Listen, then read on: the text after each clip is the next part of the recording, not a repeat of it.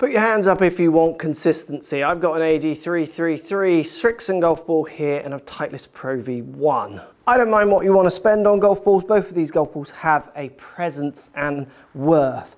AD3 being way, way cheaper, I'm just going to pitch a wedge shot out here and this one is spinning at 6,000 revs. It's spinning around 6,000 revs per minute and it went around 60 yards. Pro V1, similar distance, this one's spinning up near 7,000 revs, going exactly the same distance. Pro V went in lower, had more spin, would have checked. The Srixon came in higher, might have used land angle to stop. They both do a job.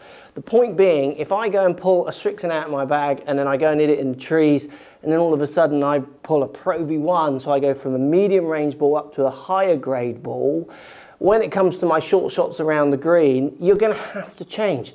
We all want consistency by using different grades of balls is going to encourage inconsistency and we bring plenty of that to the table. So I don't mind if you use a Z-Star, a Titleist Pro V1, an AD333. What I do care about is that you use the same ball over and over again. Just buy a dozen golf balls, use the same ones each time, rotate them from new to old, get used to how they perform, just gain an ounce of consistency because we are all shredding consistency out there, aren't we?